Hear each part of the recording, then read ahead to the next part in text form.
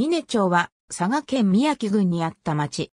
2005年3月1日、中原町、北重安町と新設合併し、宮城町が発足、自治体としての峰町は廃止した。天県地橋より、筑紫平野の一部を形成する旧峰町の景色、天県地橋より筑後川下流方面を望む。町域は、町の形に形容される。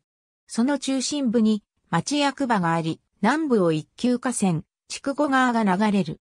この川が、福岡県との県境となっている。また、典型的な中石平野である、筑紫平野、佐賀平野の一角を形成している。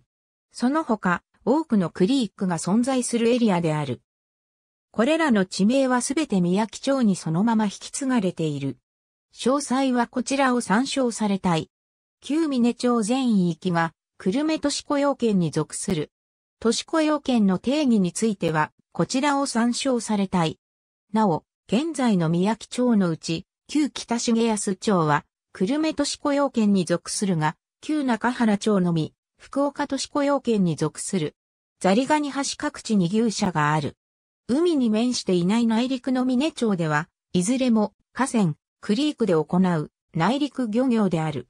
主に水揚げできるものは次の通り。ただ、最近では農薬の使用や生活排水のクリークへの垂れ流しのため、水質が悪化。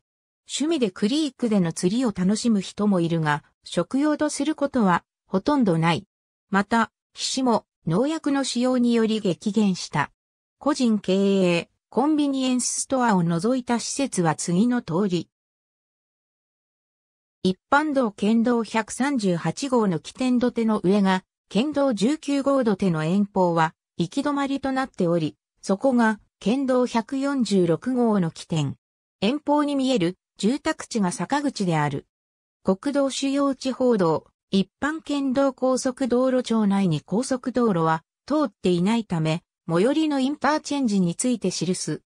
なお括弧は、そのインターは、どの方面を利用するのに利便性が高いのかを示すものである。